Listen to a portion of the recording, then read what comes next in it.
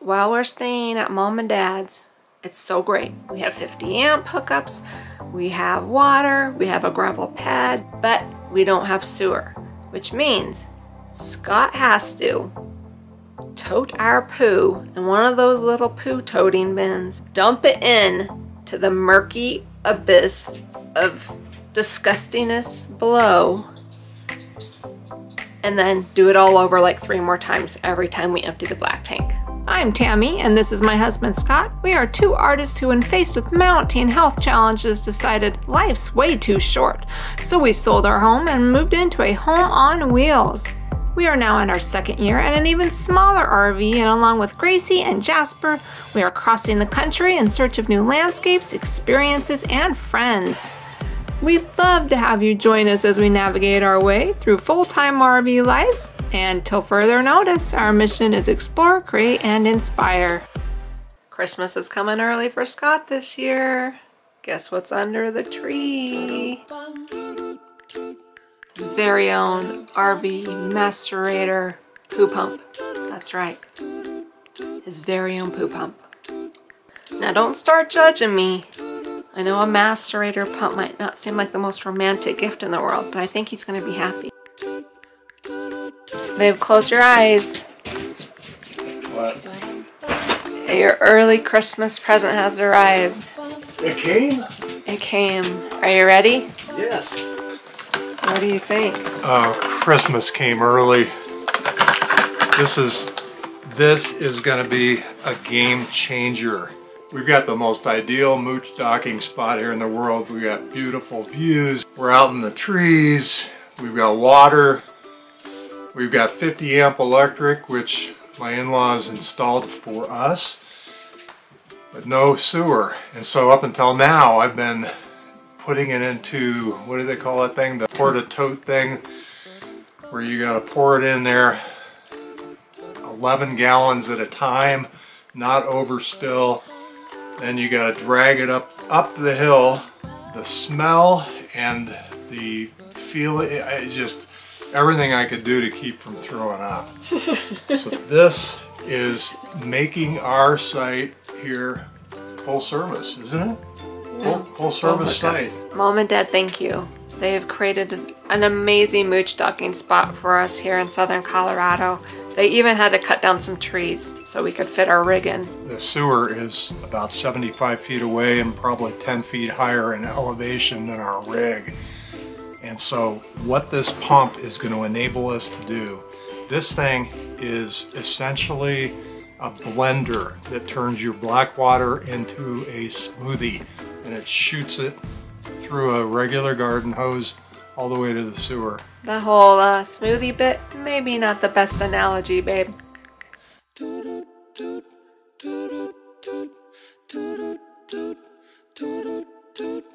Let's try to figure out how to hook up this pump and make all of Scott's Christmas dreams come true. The uh, pump need to be connected to the trigger assembly.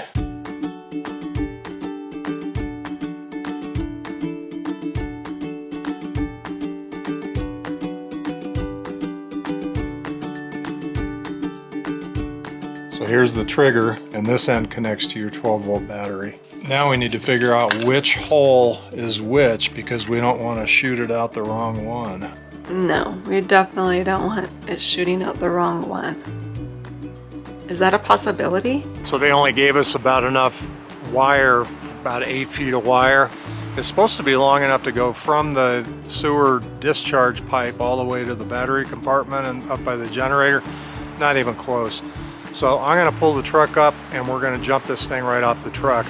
I modified some dollar store potato chip bag clips that are made out of metal and turned those into gator clips that hopefully will clip right onto my truck battery and run this thing. We also picked up a clear sewer extender and that way we can see what color is coming out of the discharge pipe out of the RV, which is important. And we can see if stuff's moving. Why is that important that we see the color coming out? because we want to know when the black water is completely flushed and when we're getting clean water through.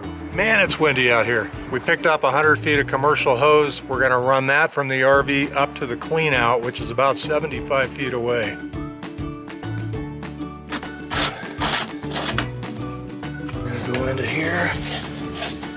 So it seems kind of counterintuitive to be using a clean out to dump into, but father-in-law says it's okay to do it, we're gonna do it. and uh, I'm gonna need somebody to be on this end telling me that this isn't going all over the place. It, we need to make sure this hose stays in the clean out. Eric, volunteers? You just got volunteered. I just got volunteered. Is this gonna stink, sir? Most likely it's gonna smell pretty bad. Thanks for volunteering, Eric. This is the uh, sending side to the receiving side. Come in. I'm ready, over. Okay, be ready. We got some shit coming your way. Let her rip, sir. What happened? I parked right on top of the handy dandy uh, grenade launcher. What's going on down there, sir? We, uh, and when I say we, I mean Scott, ran over part of the new macerator pump we just bought over.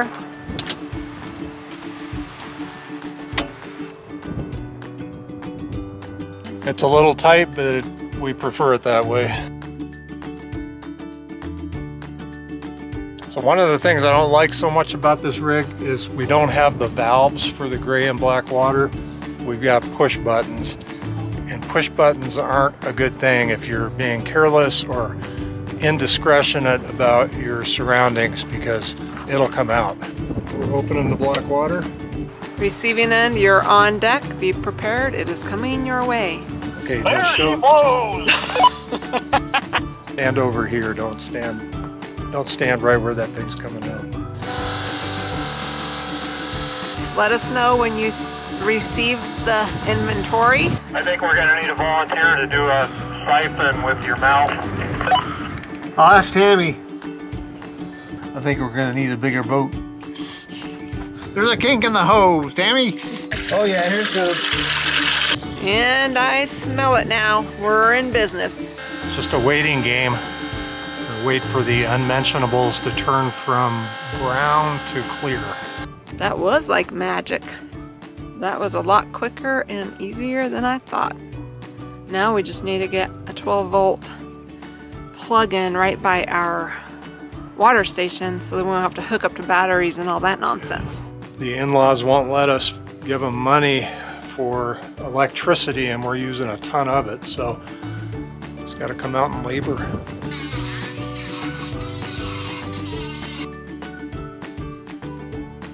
Go into the hot tub. It's freezing out. We're gonna go get warm. Anyone else have a hot tub at their mooch docking spot? This is like a full-blown RV resort now. We got full hookups, we've got hot tub, mountain view. Look at that view. This is this is a good good place to mooch dock. Oh, great. Now they're never going to leave. Can I push the button this time? I don't smell anything. Didn't you read that book to see how to operate it? Why do you keep guessing? We're dealing with poop. This isn't a guessing matter. The instructions were horrible. The man reading the instructions might have been in the error. We'll, we'll see. So, You're right. I know I'm right. do you want to read the instructions now? Maybe we should go watch somebody's YouTube video. it's kind of like doing a colonoscopy for your RV. Yeah, and with my knee, I just, and my pride, I really can't be dragging the, the uh, sewage up the hill anymore in that toad. And if you too are interested in gifting your loved one a macerator pump, I'll be sure to put a link in the description below. Jasper, do you like the new macerator pump? You don't care because you have a litter box that mommy scoops out? Okay, that's cool, that's fair. And there you have it. Just another day in the life of full-time RVer. It's the little things that make you happy living this lifestyle. The vistas, the views, the macerator pumps. Have a good night. We sure appreciate you all and we're happy to have you on our journey. Happy to have him on the journey? Say hi. Say hi. Yeah.